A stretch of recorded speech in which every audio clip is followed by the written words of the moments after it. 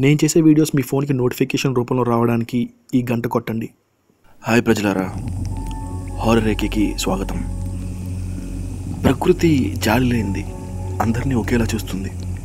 Adventurous life style కోసం లైఫ్ని రిస్క్లో పెట్టి ప్రకృతి చేతిలో ఓడిపోయి ప్రాణాలు కోల్పోయిన కొంతమంది గురించి ఈరోజు తెలుసుకుందాం.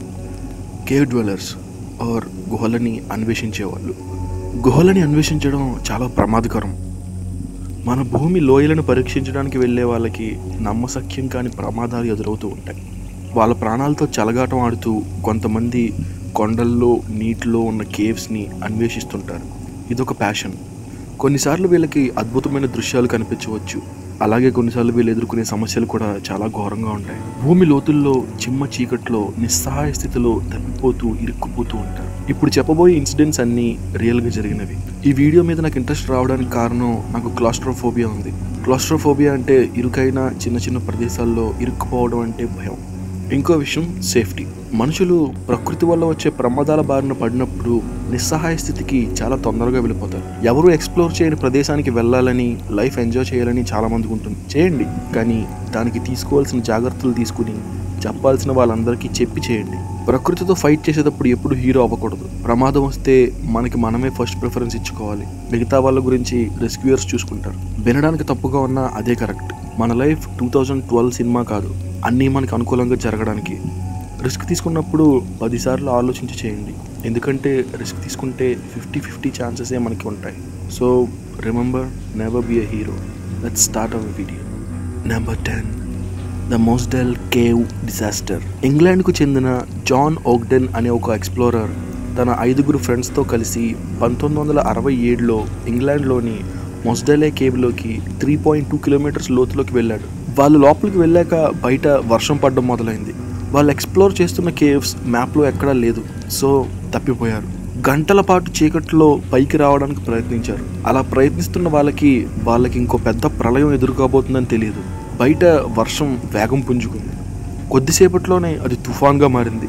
కొద్ది నిమిషాల్లోనే ఆ ప్రదేశం మొత్తం వరదగా మారిపోయింది. జాన్ మరియు అతని ఐదుగురు మిత్రులు వచ్చిన ద్వారం నీళ్ళ కింద మునిగిపోయింది. ఆ గుహ లోపలికి ప్రతి వైపు నుండి వర్షం నీళ్ళు వస్తున్నాయి. అప్పుడు జాన్ ఆ గుహలో కొన్ని రాళ్ళ మధ్యలో ఒక చిన్న ఇరుకైన మార్గం ఉందని గమనించాడు.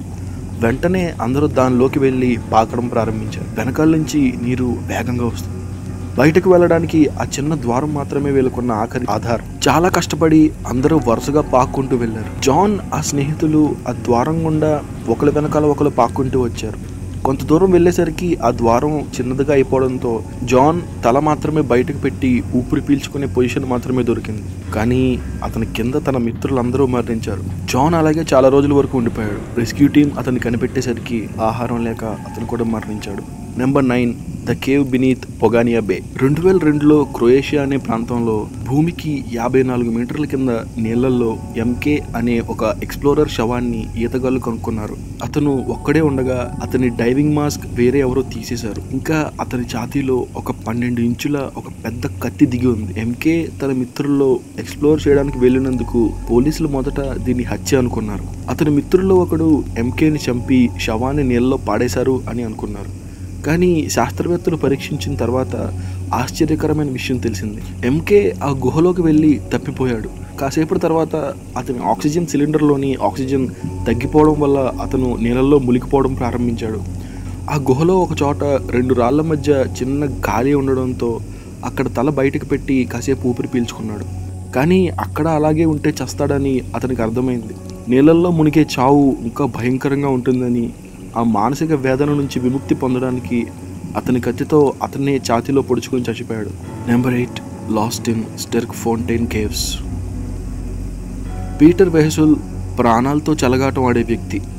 భద్రతా ప్రణాళికలను పట్టించుకోకుండా అతని మిత్రులతో కలిసి పంతొమ్మిది వందల ఎనభై నాలుగులో సౌత్ ఆఫ్రికాలోని స్టెర్క్ ఫౌంటైన్ కేవ్స్లోకి డైవింగ్కి వెళ్ళాడు. తన దగ్గర ఉన్న మ్యాప్లో ఉన్నట్టు స్ట్రైట్గా కాకుండా వాళ్ళకి ఇచ్చిన లైన్ ఫాలో అవ్వకుండా ఆఫ్ రూట్లో ఎక్స్ప్లోర్ చేసుకుంటూ వెళ్ళాడు. అలా వెళ్ళిన మూడోసారి అతని స్నేహితులకి అతను కనిపించలేదు. పీటర్ ఒక అస్తవ్యస్తంగా ఉన్న గుహ ద్వారంలోకి ఈదుకుంటూ వెళ్ళాడు. కొన్ని నిమిషాల తర్వాతే అతనికి తెలిసింది అతను తప్పిపోయాడని. అతను ఒక్కడే ఉన్నాడు. ఏం చేయాలో ఎటు వెళ్ళాలో తెలియని పరిస్థితి. ఆక్సిజన్ శాతం అప్పటికే చాలా తక్కువ ఉంది. అతని అదృష్టం బాగుంది. గుహకి చివర ఒక చిన్న ఎయిర్ పాకెట్ కనిపించింది. నీటి నుంచి బయటకు వచ్చి ఆ రాయి పైకెక్కాడు. కానీ అతనికి తిరిగి వెళ్ళే దారి కానీ అక్కడ ఉండడానికి కావాల్సిన రిసోర్సెస్ కానీ ఏమీ లేవు. రెస్క్యూయర్స్ అతన్ని కనుక్కోవడానికి ఆరు వారాలు పట్టింది. ఆరు వారాల వరకు పీటర్ అక్కడే కూర్చునున్నాడు. ఆకలితో ఎముకలు తేలిన శవంలా తయారయ్యాడు. తన భార్య బిడ్డలకు ఆఖరి మెసేజ్ రాసి పీటర్ అక్కడే మరణించాడు. ఆ message I love you Shirley and mom number seven the rescue of Dean Dreyer జనవరి రెండు వేల ఐదులో డేవ్ షా అనే వ్యక్తి డీన్ డ్రయర్స్ శరీరాన్ని బయటకు తీసుకురావాలనుకున్నాడు. డ్రయర్ పది సంవత్సరాల క్రితం సౌత్ ఆఫ్రికాలోని రెండు వందల డెబ్బై మీటర్ల లోతున్న ఒక బుష్మెన్ హోల్లో పడి మరణించాడు. కానీ డేవ్ అతని అస్థికులు వాళ్ళ కుటుంబానికి తెచ్చి ఇవ్వాలనుకున్నాడు ఎక్కువ కష్టపడకుండా డియాన్ బాడీ ఈజీగానే దొరికింది. డియాన్ బాడీని పైకి జాగ్రత్తగా తీసుకురావడానికి డెడ్ బాడీకి ఒక తాడు అటాచ్ చేశాడు. డెడ్ బాడీ మీద ప్లాస్టిక్ బాడీ బ్యాగ్ వేస్తున్నప్పుడు వాటర్ కరెంట్ వేగం ఎక్కువ అవడంతో బాడీ తేలి అక్కడి నుండి నీటి వేగానికి కొట్టుకెళ్ళిపోసాగింది.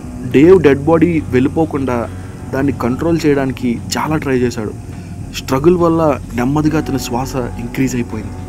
అతని రీబ్రీతర్ హ్యాండిల్ చేసే స్పీడ్ కన్నా ఎక్కువ బ్రీత్ తీసుకోవడం మొదలుపెట్టాడు. అతను విడుస్తున్న కార్బన్ డైఆక్సైడ్ తిరిగి అతని లంగ్స్లోకి వెళ్ళడం మొదలైంది. దాంతో అతను కన్ఫ్యూజన్కి గురయ్యాడు. బాడీ బ్యాగ్లోకి డియోని పంపడానికి తను చేస్తున్న ప్రయత్నం సిఓ టూ పీల్చుకోవడం వల్ల వచ్చిన కన్ఫ్యూజన్తో ఇంకా భయంకరంగా మారిపోయాడు.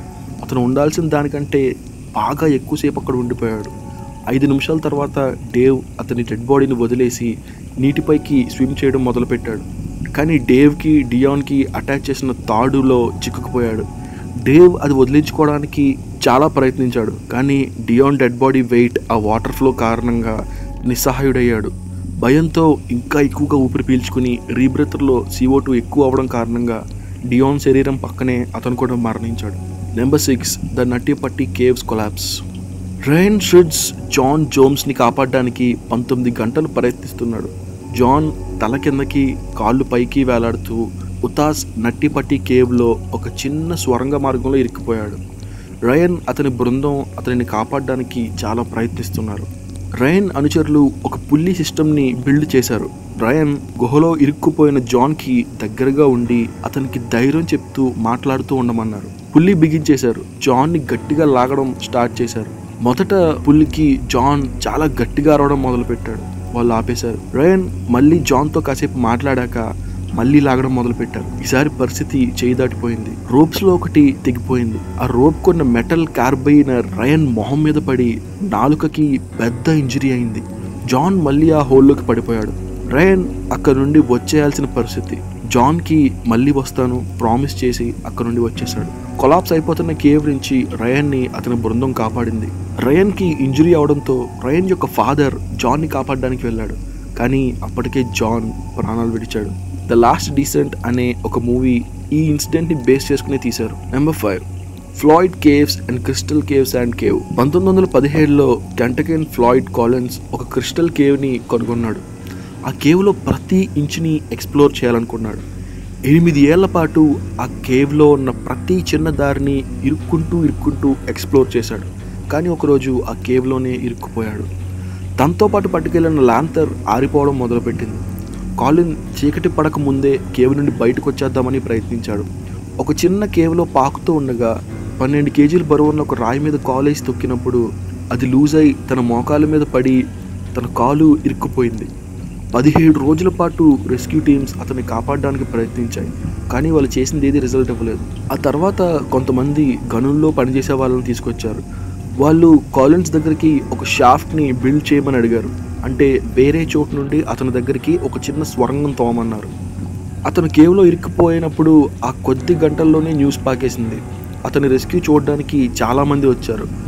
ఫుడ్ స్టాల్స్ డ్రింక్స్ అమ్ముతూ సువెనీర్స్ కూడా అమ్మడం మొదలుపెట్టేశారు పద్దెనిమిదవ రోజుకి కూడా ఆ మైన్ షాఫ్ట్ పూర్తవ్వకపోవడంతో హైపోథెర్మియా ఆకలి దాహం కారణంగా కాలిన్స్ అక్కడికక్కడే మరణించాడు.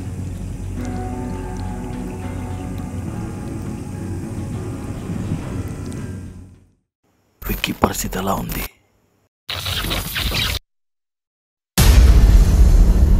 ఢిల్లీలో కొత్త జాబ్ కొత్త ఇల్లు. ఆ ఇంట్లోకి వెళ్ళినప్పటి నుండి ఎదురయ్యే భయంకరమైన సంఘటనలు. ఇంట్లో ఏం జరుగుతుందో తెలుసుకుందామని సీసీటీవీలు పెట్టిన విక్కీని మళ్ళీ ఆ ఇంట్లోకి అడుగు పెట్టనివ్వకుండా యాక్సిడెంట్ల మీద యాక్సిడెంట్లు సృష్టిస్తూ విక్కీ ప్రాణాలతో చెలగాటం ఆడిన ఆత్మ. విక్కీ ఆ సీసీటీవీ ఫుటేజ్లో ఏముందో చూశాడా? వరుసగా అన్ని యాక్సిడెంట్లు అయ్యాక విక్కీ మానసిక స్థితి ఎలా మారింది? విక్కీ ఇండియా వదిలి ఈజిప్ట్ కిందకు వెళ్ళిపోయాడు? హారర్ ఏకేలో ఈ వారం వచ్చి అతను ఆ ఆత్మను రికార్డ్ చేద్దామనుకున్నాడు. కానీ పార్ట్ టూలో తెలుసుకోండి.